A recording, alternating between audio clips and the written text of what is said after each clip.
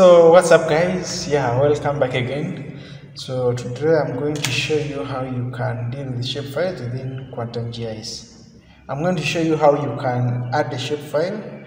I'm going to show you how you can create your own shapefile, be it point, be it line, and then be it polygons. Uh, yeah, that's what I'm going to show you today. So after opening up your Quantum GIS, and then create a new project and then save it as uh, let me save it as Luero then say okay. So this is my quantum GIS and then I'm going to add the what? A shape file. It is always good practice to define your coordinate system. So I'll come here and then I select this coordinate system and then I say okay. Yeah. So that when I come to layer add layer you come to layer add layer and then add vector layer and then you can yeah. So when you reach here you can see there are many files. We have the cpg files the dbf files the prj file the shape file the shx files the evf and etc and etc so here is our shape file but if you cannot see it when the files are many you can come to all files and then you select ESRI shape file. And then it will show select it and then say open and then add. So here it is prompting me to convert from this to this coordinate system. I'll say okay. Then I'll say close. So this is my shape file. As you can see a shape file may have attributes so to check the attributes of the shapefile, right click on this shapefile and then say open attribute table and then check the attributes of the what of the shapefile.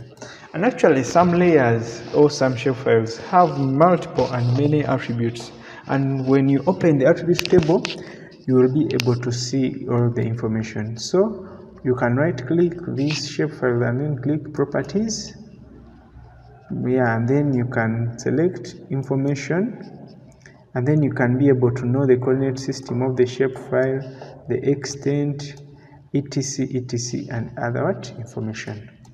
Yeah.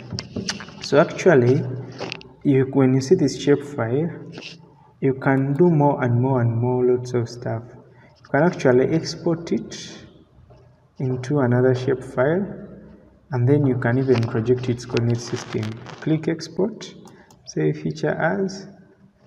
You can select either ESRI shape file whatever you want to export it. You select the name where you save it. Let me say new shape file. Yeah and then you can also select the coordinate system and then select whatever I want to project it into and then take this add save new file to map and then say okay. Yeah. So as you can see here is a new shape file. Yeah. So you can also create a new shape file. You just need to come to layer create layer.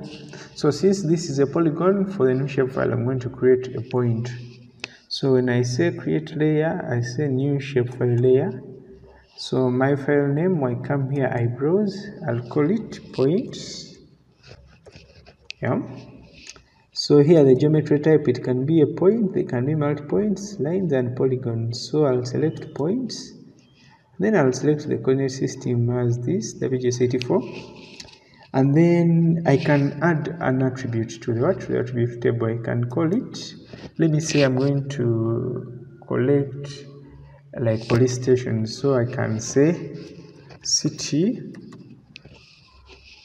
And then it is a text of course. I add to the field. And then I can say number of officers. Number of officers it's a oh let me just say officers. So officers it is a whole number. Uh, the precision can change the precision and the length. Then you add to field. And then let me just use that and then I say okay. Yeah. So here is what? Here is a new point layer. In case you want to add a point layer you just right click on this you click on it and then come here then you toggle editing you see?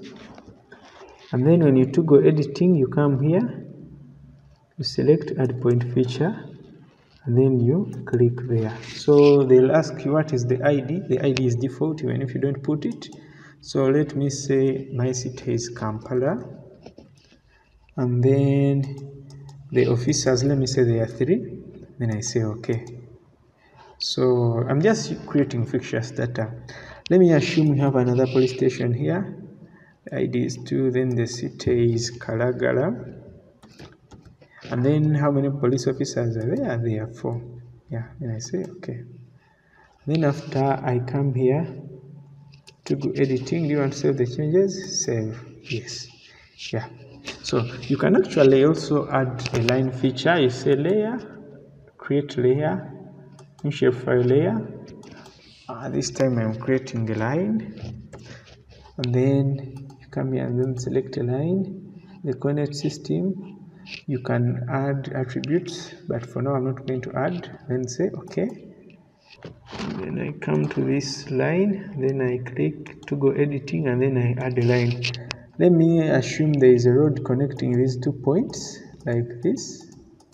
So I'll add it like that then okay I'll say id1 and I say okay. So that is the line connecting those two points. Basically this is a fictitious line. It's not there. I've just created it for demonstration. What? Purposes yeah so yeah. I hope that is fine. Today I've covered how to add a new shapefile and then how you can make a new shapefile